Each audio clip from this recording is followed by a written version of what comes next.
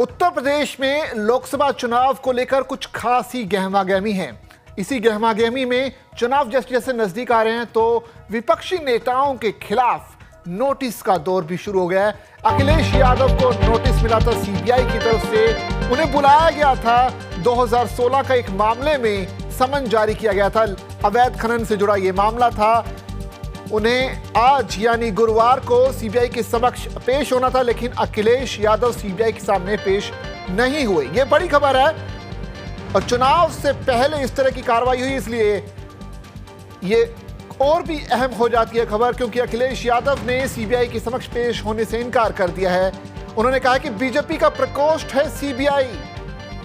जाँच में, हालाँकि वो सहयोग करने को तैयार हैं लेकिन वो पेश नहीं हुए हैं। ये बड़ी खबर है। इससे पहले जब बुधवार को ये समन जारी किया गया था तब इस पर काफ़ी बयानबाजी हो रही थी काफ़ी रिएक्शंस आ रहे थे पॉलिटिकल पार्टीज़ के और कहा जा रहा था कि चुनाव से ठीक पहले विपक्षी नेताओं को इस तरह के ब, के समन जारी करना आम बात है।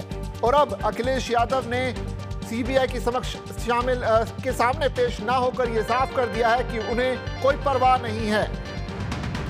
सुनिए क्या कुछ कहा अखिलेश यादव ने अपने इस बयान में। यह पहली बार सीबीआई नहीं बुला रही है।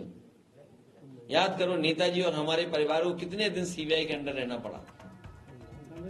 अगर आप राजनीति कर रहे हैं और पीडीए के लिए आप लड़ाई लड़ रहे हैं तो इन सब चीज़ों का सामना करना पड़ेगा। इसीलिए मैंने कहा कि भारतीय जनता पार्टी इस समय सबसे ज़्यादा कमज़ोर है। सबसे ज़्यादा कमज़ोर स्थिति में। दस साल के बाद भी इतने घबराए हुए लोग। और मैं आपसे कह रहा हूँ कि यूपी से आए थे, यूपी से ही जाएँगे बाहर।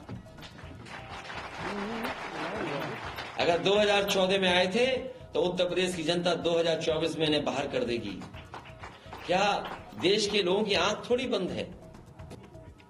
क्या देश के लोगों को नहीं दिखाई दे रहा? क्या आप चंडीगढ़ के चुनाव को जीतने के लिए बैलेट पेपर पे क्या वोट डलवाए आपने?